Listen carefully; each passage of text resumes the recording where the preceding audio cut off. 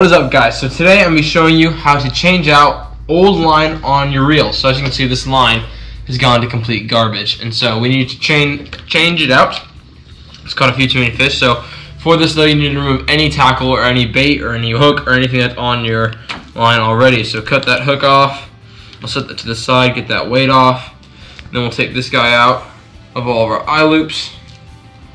We'll come down here, hold it just barely above the reel reel in like that. You'll leave a little bit out, of course, because we do need to tie it to some other things. And then what we have for supplies today, power drill, and an old spool that used to hold wire. You can really use any type of spool. You can use your old spools that your fishing line came on if you still have those. But this we'll be using for today for today's presentation. So let's get into this.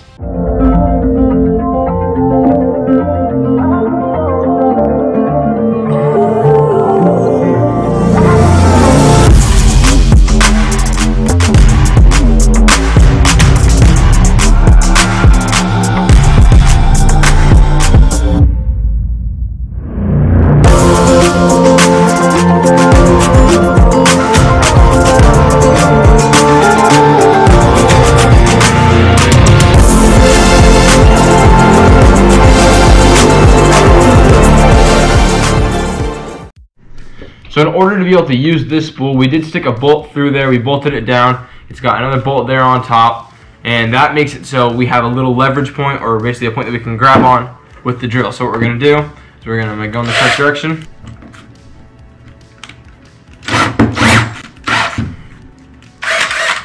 Get your spool on there. And then you shall tie your fishing line on. If I can find it. It's kind of invisible little stuff really just any little knot works. I just do like two of the first steps to tying your shoe real quick.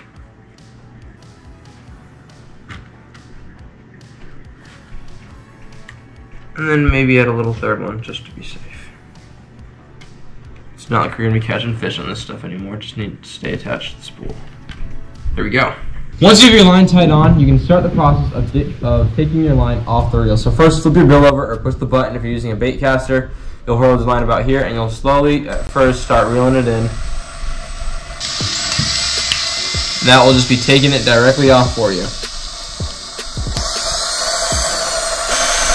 Slowly increase your speed as you got it going good. I've made it through all the nasty line now so I can go a little bit faster. That's why it will stop pulling my reel towards me. And make sure you watch your spool so you know when it's getting low. So that way you don't all of a sudden just jerk your reel forward. So I'm getting pretty low. Boom. Right there, that was it. I think that just broke my knot off too. Yep. Boom. There you go. There's all the old nasty line. You can take that off. And now we shall install the new line. So now guys, we're gonna focus on the part of putting new line onto our reel. So the first thing you wanna do is you're gonna wanna get yourself one of these. This is a Berkley portable spooling station. At Bass Pro. Super, super helpful so that you don't have to go anywhere to get your line done. You can do it yourself. So we'll be using that. And first step to this process is, of course, also have your line. With me, I got six pound P line here. And then you're gonna take your spool. This is for a spinning reel. Spinning reel. You're gonna take your spool and you're gonna, if I'm twisting it the correct way, nope, it's wrong way. Here we go. You're gonna twist them off.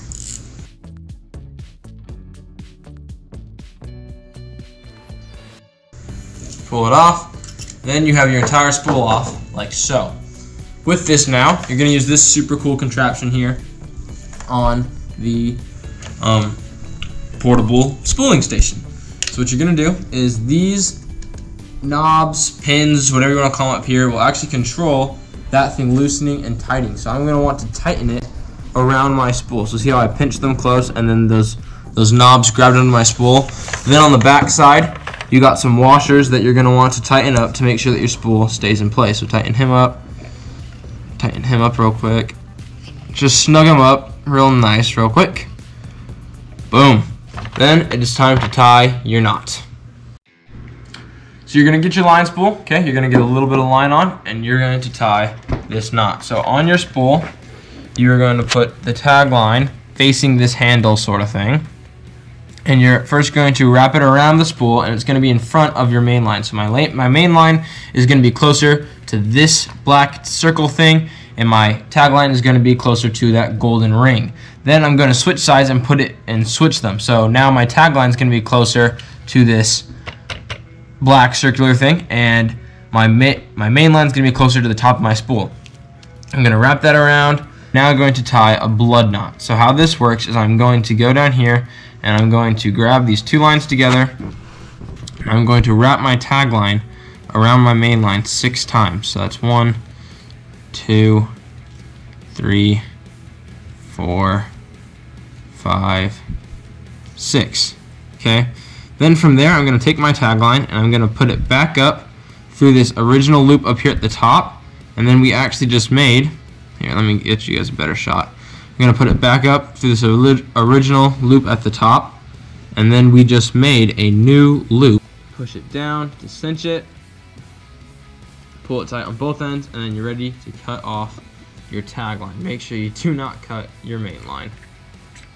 Now we're going to be reeling in our line, our new line, onto our reel. So you're going to want to get your portable spool station set up for this. So first thing you're going to do is go to the little heater compartment up here. So you're going to lift up that red tab and you will dump out rod. That will be explained in about three seconds. Then up here, you can actually just pull right here and these things will pop out like so and then you'll pull it down here or up here and that will make it extend even further so. Then from there, inside these black tabs, you have these little red stand-up things that you can push it open with.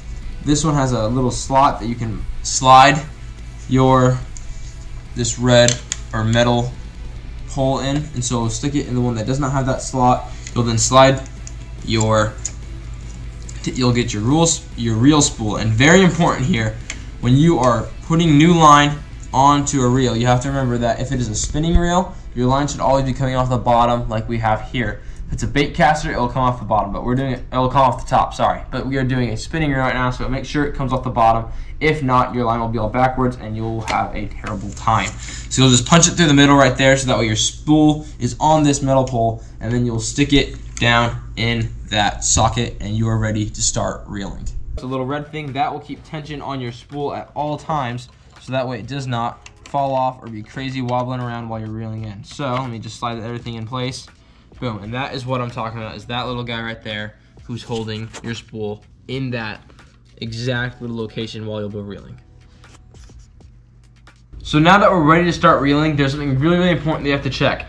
So this reel, or this portable spool system, can reel two ways with this handle here on the side you have to make sure that the way you are reeling in matches the same way your line is coming off your spool. So as I mentioned, because we're doing a spinning, a spinning reel, my line is coming off this spool from the bottom, which means I have to attach it on the bottom onto this spool. So now let's get to reeling.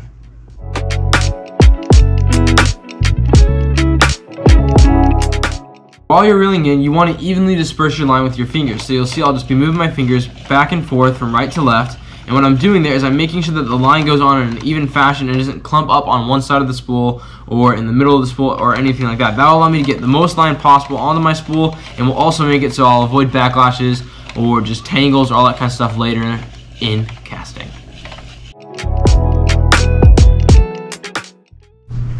Now we have finally reeled all of our line onto our reel spool. Make sure while you're reeling in that you remember that this spool capacity of what you bought at the store, that spool, might be bigger than the one that's actually on your reel. So you want to go until it is filled up. So once we get there, we'll simply just come here and get our trusty handy dandy scissors, cut it right there, and then we shall come back here and loosen these trying not to let all that line fall So I'm just going to set them down there. We'll come back here and loosen these guys up real quick, those wing nuts that we tightened up earlier.